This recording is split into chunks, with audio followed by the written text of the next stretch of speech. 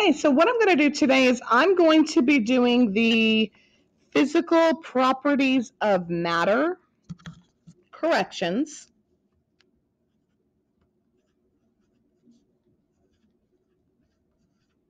Okay.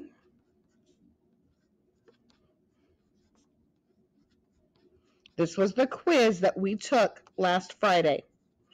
If you did not take the quiz, you will need to do these corrections because once I release the answers, it's unfair to grade anything as an original test at this point. Okay, most everybody did take the quiz. So, what is the color of a mineral in powdered form called? A mineral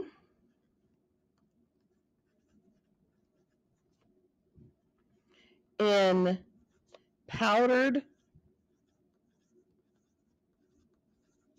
form is called a streak. Okay? Now,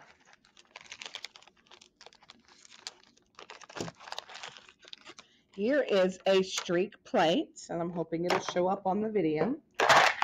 Here is some talc. Okay? I'm going to scratch it. So even though the mineral kind of has this bluish tint to it, its streak is white. Okay?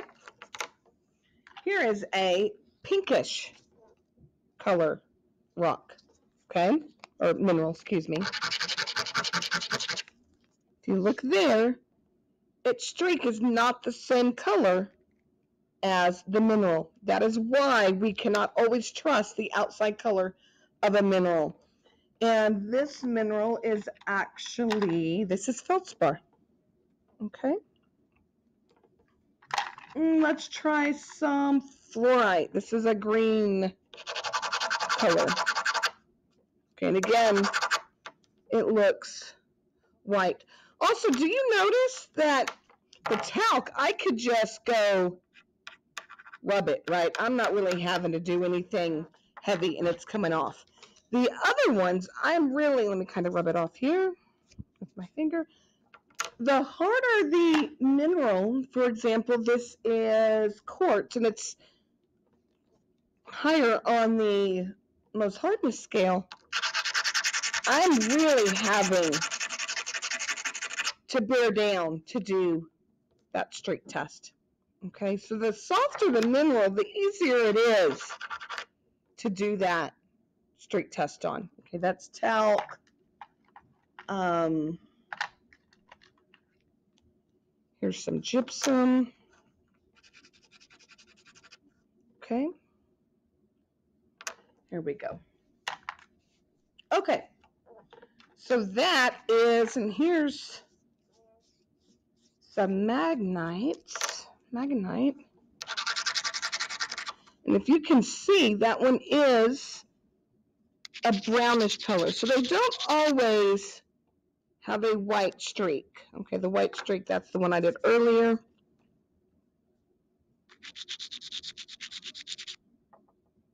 Okay. So that is a streak test using a streak plate. Okay, and I've lost my pencil, guys. Bear with me. I'm sorry. Let me grab another one. Okay.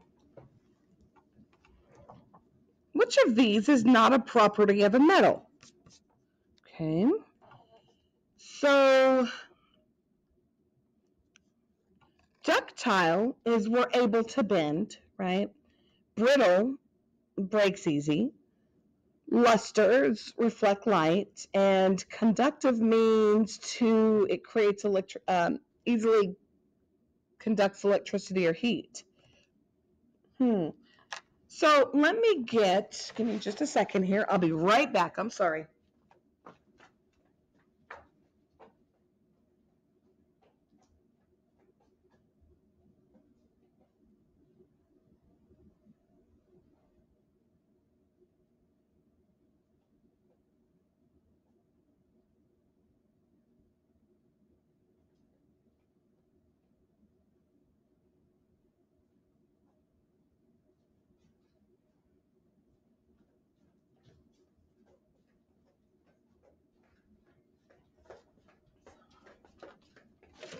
Okay, I apologize. Okay, so here's some sulfur. Okay, it's yellow in color. And watch what it does, guys. I'm going to take a hammer to it. I'm going to get a smaller piece. Okay. Look at that. It breaks just like that, right? Now I have some wire, and I forget which, Ah, this is aluminum, aluminum wire. So this is ductile, right? I can bend it, I can mold it. If I was to, so it's malleable, if I was to hammer it, nothing's happening, right? It's not breaking apart. So that is, met, uh, brittle is not a metal. Okay, brittle is not a characteristic of a metal. Okay. And I found my pink pencil.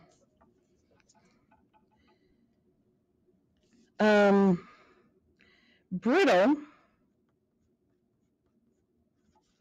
is not a property of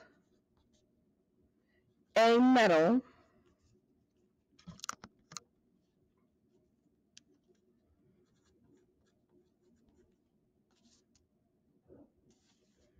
because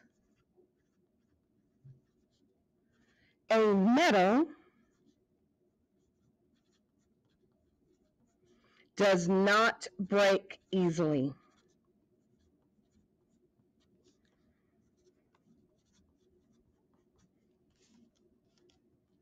Now remember, you are going to type exactly what I write into the test correction document. Okay? Here we go. A graduated cylinder has 10 milliliters of liquid poured into the cylinder. A substance with 900 grams of matter inside is added to the graduated cylinder, and the liquid rises to 100 milliliters. What is the density of the liquid? Okay. Now you're not going to be able to draw the picture, but I do want to draw it out. I would like to see um, you type in the math. Okay. Now, if you if you're able to and you know how to be creative and draw the graduated cylinder digitally, or or if you're doing this um, on paper, then please, that would be great to draw it out. Okay. So here's my graduated cylinder. Okay. Now, oftentimes you're going to see these questions where it's two graduated cylinders. So I'm going to do that. Okay. And here's my original one. And it says it was up to 10. And there's my meniscus. Okay, so that curved part, it's at 10. Okay? I'm going to drop a substance that has 900 grams of matter inside, which is the definition of mass, right? And that says 900 grams. Let me see if I can make it a little bit bigger. There's my substance, right? Okay. I'm going to draw my substance in. And it's going to, I'm just going to put 900. I know it's small, guys, but that does say 900. And my water then rose to 100. Okay? So what I'm going to do is I'm going to subtract the difference. 100 minus 10, well guys, that's 90, right? I'm going to set up my density problem. Density equals mass over volume. Grams over cubic centimeters, because remember, one milliliter is equal to one cubic centimeter. Okay? So my grams was 900. My volume was 90. Okay. My volume goes on the outside. And I'm going to go ahead and do my T-chart.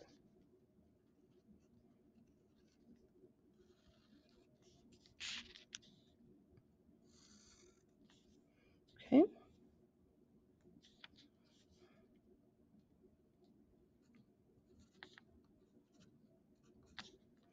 Five, six, seven, eight. Now I do my multiples as a T-chart. You may like to do yours in regular uh, multiplication fact form, and that is fine. 90 times 1 is 90. 90 times 2 is 180. Times 3 is 270. Times 4 is 360.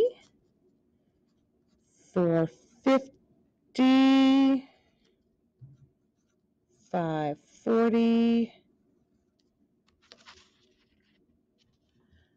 100. Oh gosh, guys. I'm scared I'm going to give the wrong answer here.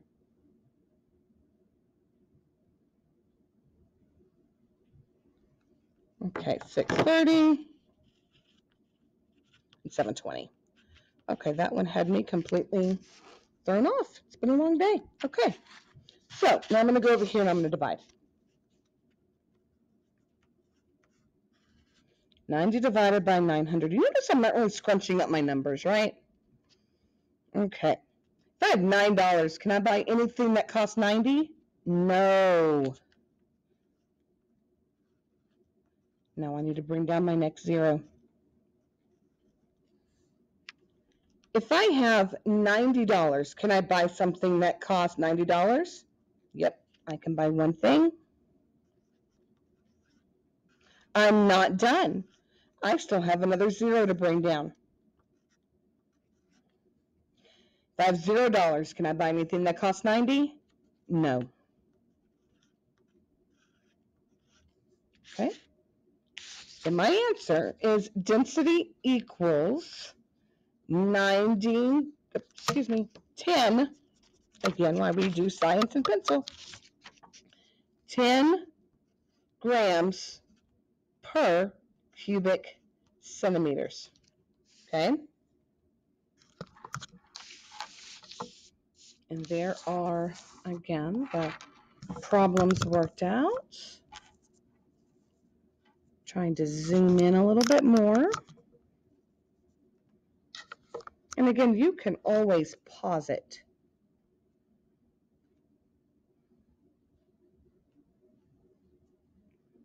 Okay. So this would be one, this would be two, this is three.